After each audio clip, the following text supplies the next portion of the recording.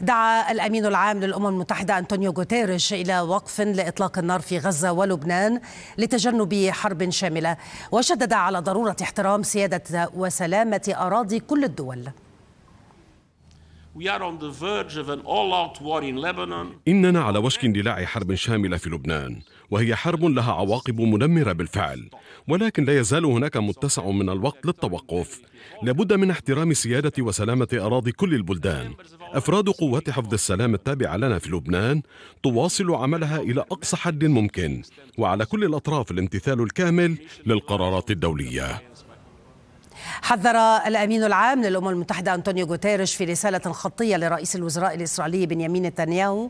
حذر من عواقب كارثية في الأراضي الفلسطينية في حال منع وكالة الأونروا من مزاولة أنشطتها.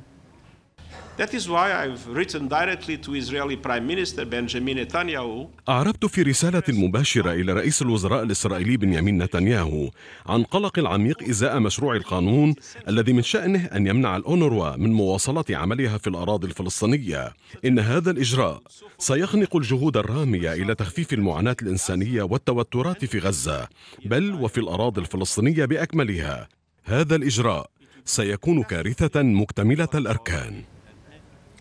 قال إيان كلارك المسؤول بمنظمة الصحة العالمية في لبنان أن إن تصاعد العنف في لبنان تسبب في مقتل 65 شخصا من العاملين في مجال الرعاية الصحية وإصابة العشرات فضلا عن إغلاق عدد من المرافق والمراكز الصحية WHO is deeply concerned by the impact of the recent escalation of violence on health systems in Lebanon, including the rising number of attacks on healthcare workers and facilities.